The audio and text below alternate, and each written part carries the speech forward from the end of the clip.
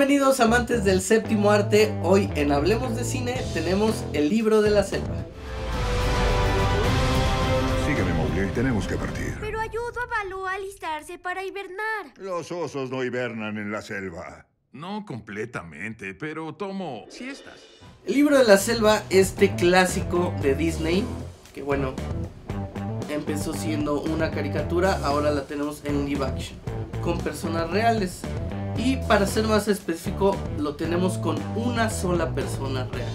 Vamos, tenemos algunos beats, algunos silent beats, pero eh, tenemos a un solo personaje en live action, vamos a decirlo así, o tenemos a un solo personaje real, que es Mowgli, interpretado por Neil Sery. Este niño que realmente sorprende su actuación. Hello?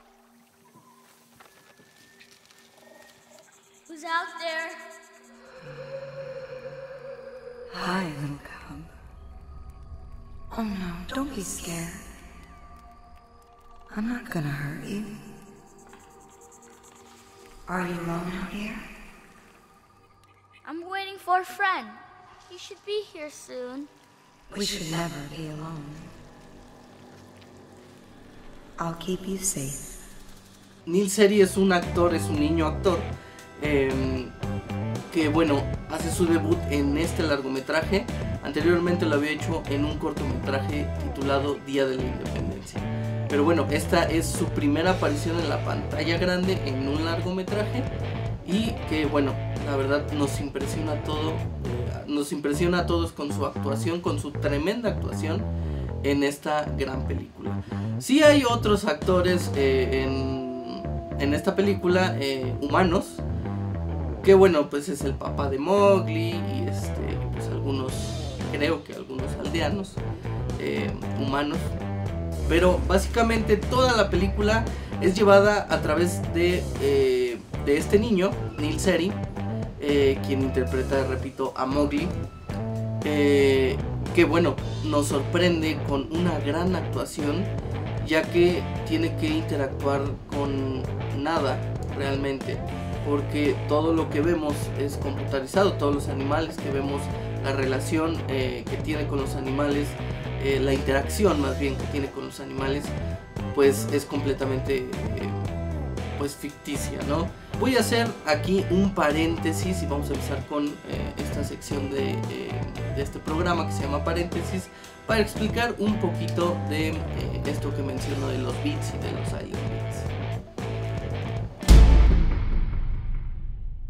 Muy bien, ¿qué es un beat y qué es un silent beat? Eh, un beat es un personaje que tiene interacción con, eh, con uno de los personajes de, ya sea una película, una serie, una telenovela, un- lo que sea, ¿no? Un beat es alguien que tiene esta interacción y si habla, habla con él. Eh, puede ser un cartero, puede ser un mesero, puede ser, digamos que un tipo de extra, pero que habla y que tiene interacción con el personaje. Un silent beat, eh, como lo dice el nombre, eh, silent, eh, es, un, es un beat que no habla. Es decir, alguien que tiene interacción con el personaje, pero pues no, no, no vemos, eh, no, no lo vemos hablar, o no lo escuchamos hablar más bien. Entonces, un silent beat eh, básicamente es un beat que no habla, ¿no? Y, eh, y puede ser igual, ¿no? Cualquier, eh, cualquier personaje, pues secundario, cualquier personaje que, que, digamos esté de fondo. Sin embargo, eh, se confunde a veces el silent beat y el beat con un extra, ¿no? Un extra hace la función únicamente eh, de fondo. No tiene ninguna interacción con ninguno de los actores, con ninguno de los personajes y no tiene nada que ver con, eh, vamos, co- co- co- con, alguno de los personajes. A diferencia de los beat y de los silent beat que sí tienen interacción con el personaje. El extra únicamente lo vemos de fondo y bueno, es más ambiental que, eh, que, que otra cosa, ¿no?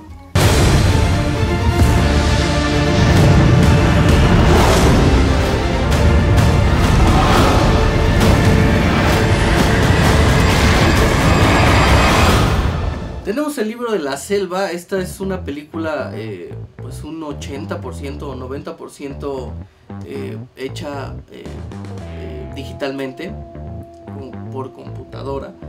Pero es una película muy divertida, es una película bonita, es una película familiar que te cuenta básicamente la historia de libro de la selva, este clásico, repito, de Disney que ya anteriormente habíamos, pues habíamos visto, ¿no? Eh, en inglés eh, tenemos eh, las voces de Scarlett Johansson, de Bill Murray, tenemos la voz de Lupita Nyong'o, tenemos la voz de Christopher Walken, tenemos la voz de Christopher Walken. Y bueno, en español tenemos las voces, ¿no? De eh, Francisco Céspedes, tenemos las voces de Héctor Bonilla, tenemos la voz de eh, Susana Zabaleta, tenemos la voz de Enrique Rocha, eh, voces bastante fuertes, ¿no? Y bueno, que, hacen eh, pues de esta una, una buena película tanto en inglés como en español. A mí, como creo que he comentado, no me gustan las películas eh, dobladas al español, sin embargo esta es una muy buena película, un buen doblaje.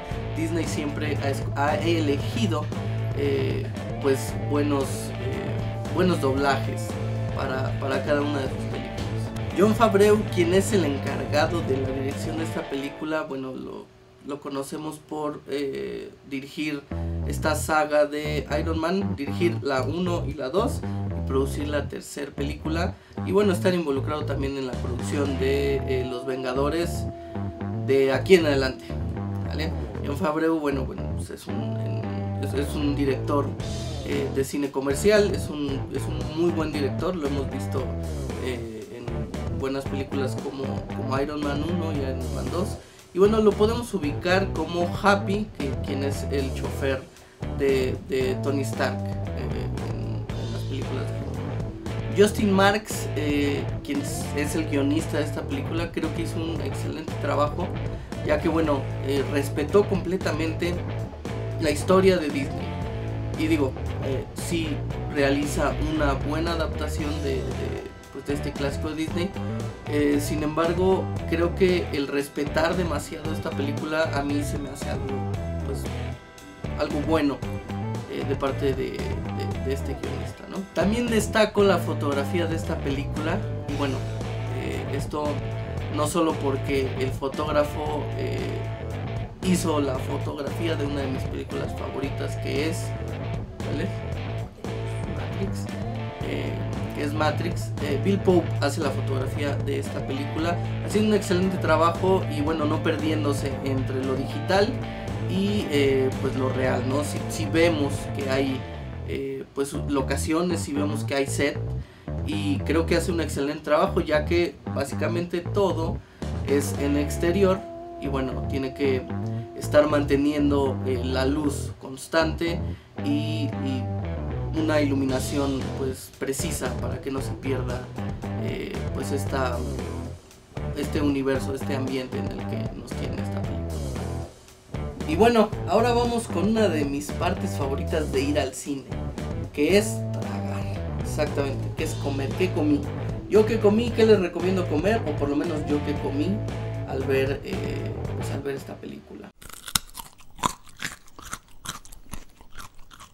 ¿Qué comí? Comí, eh, me comí unas palomitas, eh, me comí unos, eh, unos cacahuates surtidos, los cuales, fíjense bien, los cuales ya cuando las palomitas las tenía por ahí de la mitad, digo, no eran unas palomitas grandes, lo que hice fue agarrar las, los cacahuates, el surtido de cacahuates, y lo metí. Y vamos, los, los, los, los vacié en, el bote, de- bueno, en las palomitas. Y me supo muy bien, porque es rico hacer ese tipo de combinaciones. Me refresco y este. Y, unos M&M's que se me cayeron cuando estaba ahí en el cine.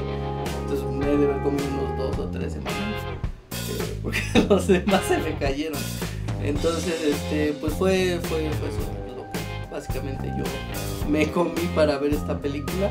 Y bueno, pues si son fanáticos o si les gusta eh, los animales, si les gusta Disney, si les gusta, obviamente si les gusta el libro de la selva, vayan a ver esta película.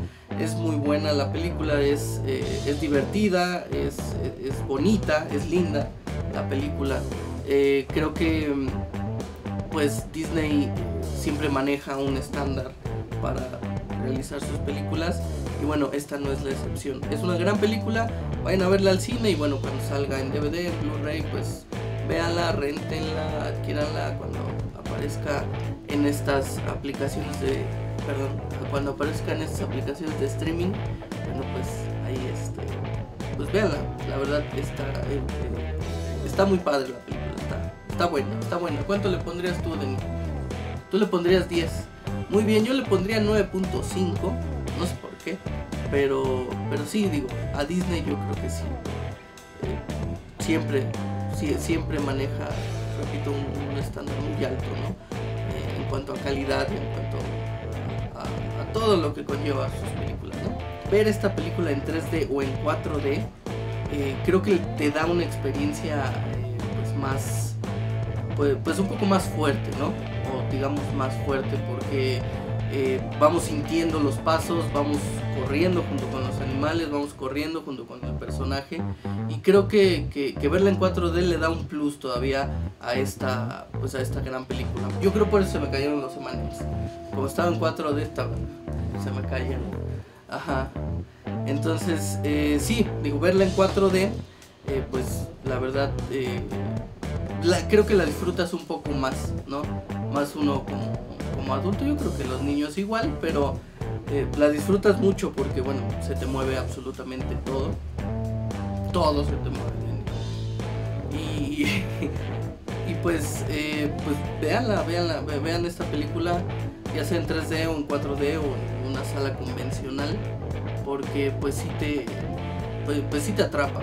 Muy bien, pues les agradezco mucho que, hayan visto este video, eh, que vean eh, los demás contenidos de este canal, que bueno, ustedes ya los conocen. A todos los que no se han suscrito, pues eh, les recomiendo, ¿verdad?, que, que, se suscriban a este canal para que conozcan todo el contenido que tenemos. Tenemos, además de este programa, que son reseñas, comentarios y demás, pues tenemos una serie, tenemos un programa de reportajes, tenemos sketches, tenemos un programa de variedad que bueno está eh, está por salir próximamente va a estar la nueva temporada de este programa que se llama Sin Logueos.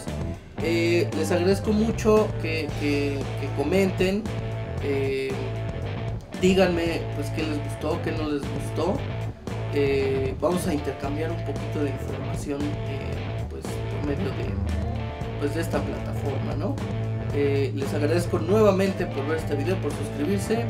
Y bueno, pues no me queda más que decirles que no dejen de ver cine. Esto fue Let's Talk About Cine, el libro de la selva.